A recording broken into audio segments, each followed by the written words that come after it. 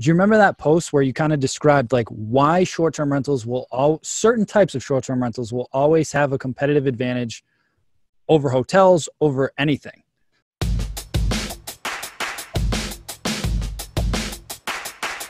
You want to talk about that real quick because I thought that that was very such a solid point if you understand human psychology. Yes, and it happened in 08 it happened in 08 and that you know to 12 whatever 10 to 12 whatever you want to call it. So that's why i saw it and i know what's going to happen again during this. And here's what happens. During a recession during a crash during a depression during a pandemic whatever you want to call it families get depressed and there's only one thing that they can do that dad let's just call it dad's the working guy right? Let's that dad can do to give a lollipop to his kids and that's a vacation. Now you cannot fly anywhere. You cannot go abroad, right? So you basically it's a drive to scenario.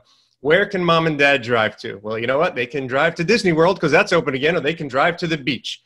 And people don't want to stay in hotels, right? So now we're combining the I want to give my kids a lollipop, and the only way I'm going to do that is with the vacation because for that week, I can make the family feel like everything's normal again. I could take them and make them all feel good and we can bond as a family and I'll spend that money because I get my three weeks vacation and I'm going to take my family on vacation.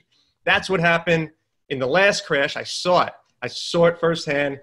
Disney World was packed down here in Florida. Our beach homes were packed. People didn't give a shit. They spend the money on vacation even when they don't have any money. They do it. That's their first thing they want to do because they want to make themselves feel better. Now you're combining the virus and the pandemic and people not traveling abroad and they don't want to stay in hotels because a hotel's a petri dish of who the hell knows what. So they are going to go stay in a private home. They all have new regulations that they have to disinfect these homes every week on every turn. They are clean. I actually just stayed in one a couple of weeks ago in South Carolina, the biggest hot spot besides Florida, I think, in the country. And it was great. Nobody got sick. Um, and they're going to stay that because you feel like you're in a home and you're insulated right? And now you're combining the lollipop theory I just described with the cleanliness and not being around other people scenario. And that's why I think private single family vacation homes will be the first to rebound. They already have. It's already proven. Um, they'll be the only ones to not lose during this scenario.